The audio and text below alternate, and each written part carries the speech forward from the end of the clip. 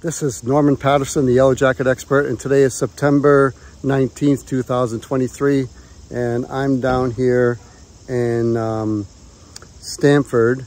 And um, the reason I'm making this video is I'm starting to see more and more a, a um, southern yellow jackets coming up here into Connecticut.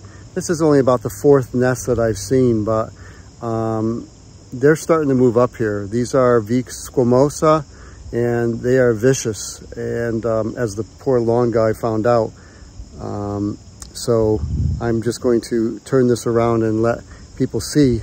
Um, most people are not going to check the varieties of the yellow jackets, but this is just more of a documentation of the fact that um, squamosa are here in Connecticut now, and I suspect it'll only get worse. So here they are the squamosa. I got to be careful. I don't know how vicious these are. I haven't worked a lot with them, but uh, yeah, here they are. Hole in the ground, just like other forms of yellow jackets.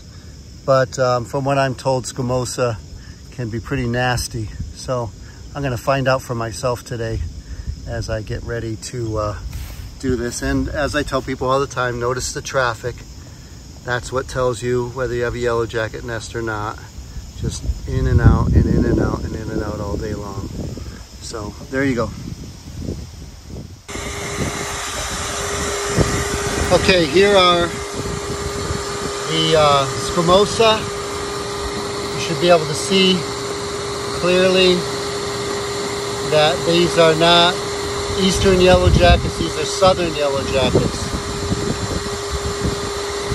So here they are in Connecticut. Stamford, Connecticut. I've seen them in Bristol. My son has seen them as well, but um, it's worth noting. So forgive the vacuum that's in the background. I pulled up the squamosa nest because I'm curious myself what it looks like, but it's pretty well hatched out. Those are all queen cells.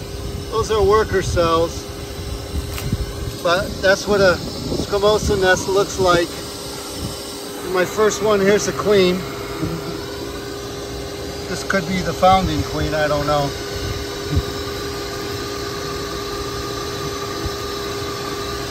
I'm kind of inclined to think that that is the founding queen. So there, there we have it. Squamosa, uh, Stamford, Connecticut, September 19th. 2023, the Yellow Jacket Expert. And this was all done without pesticides, all done without chemicals, all done without poisons.